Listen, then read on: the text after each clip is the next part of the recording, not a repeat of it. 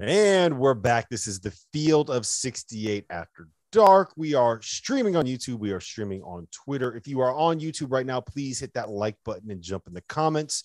Join us. We are in the chat. Uh, we're also on Sirius XM channel 84. That is the ESPNU station. We got to talk about Duke, guys.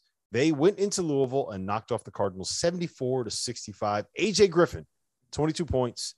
Uh, he, I, it felt like he shot 17 for 17 from three. I think he ended up five for five. To you know a thing or two about shooting. How important is the emergence of AJ Griffin for these Blue Devils? It's huge because he gives them a consistent three point threat. And that's something they haven't, they've kind of had, but not really had it every game. He's proved that he can be that five of five. And he's never, it's, it's weird. It doesn't look like he's ever really set. His feet are really wide. He shoots the ball over his head. It's kind of strange. He was really, really good. The guy that means the most to this team, though, I think was pretty evident today is Mark Williams. Like that guy defensively changes the game. Uh, Duke got off to a 24 to 11 start. He gets two fouls. That's when Louisville makes the run, gets back in the game. More he's in foul trouble, obviously, the more it helps. I like Theo John, but he isn't the same rim presence defensively eh, and offensively for that matter. The only way, yeah. the only way Duke doesn't advance deep in the tourney is if again AJ Griffin has an off shooting night and they hmm. rely on that perimeter shooting, right? Yeah. Like, because they have too much. I mean, they, they have enough that one guy can have an off night and it doesn't really matter. And again, I want to see Mark Williams get involved more, but Paolo's terrific. Wendell Moore does a good job.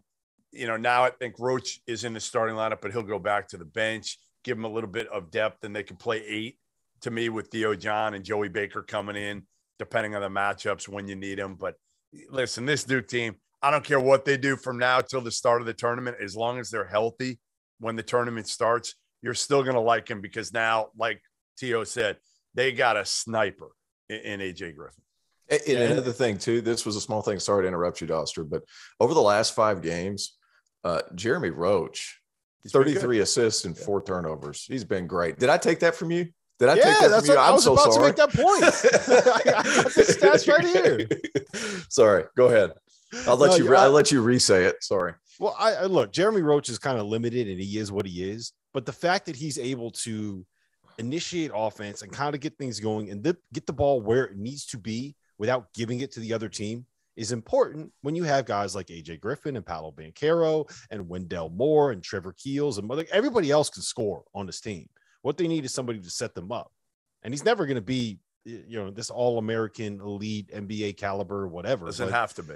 yeah, he doesn't have. I mean, he's he's doing a very good job at the job that he's asked to do, uh, and it's kind of it is what it is with him. But I, I, I I'm I was worried about it. I, I think he's done a pretty good job um, at this point. Do you keep him? So here's my question to you: Do you keep him starting because that he has been so good and now solid there? And do you bring Keels off the bench? I, I think it might help him in a way. I, I honestly like Keels off the bench more because he's like a he's a bucket, right? Like he comes in and he changes the game with the way that he can score. He changes the way that you have to defend. I always like those kind of instant offense dudes coming off the bench. The same way that you can bring someone like an LJ Cryer off the bench Yeah. if you're Baylor. You know, so I, I like Trevor Keels in that role a little bit more. Their best five is with Trevor Keels on the floor. I don't think that you have to have your best five out there No. for the first minute of the game. Hell no. So I Not at kind of I, I I kind of like it.